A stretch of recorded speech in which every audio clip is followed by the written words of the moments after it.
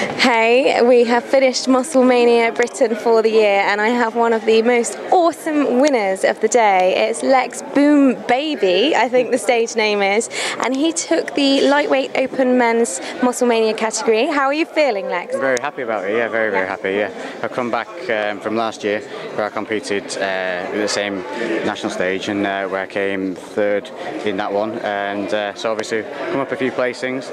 Do you um, choreograph your own routine? It was quite. It, it definitely stood out for yeah, sure. Under pressure, I always do it last minute. And because we travel so far coming down uh, and running my own business, it just kept getting put on the back burner, and that, so that was literally last minute, kind of banging it banging together, and Okay. uh, came came together in the end happily, It's, uh, and it was fun. Got a crowd. And what's next for you, Lex?